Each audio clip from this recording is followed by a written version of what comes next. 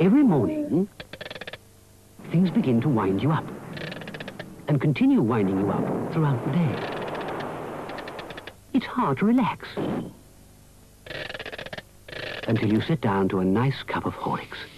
Horlicks mixed together with warm milk helps you unwind. Horlicks, Oops. the key to a nice, relaxed evening.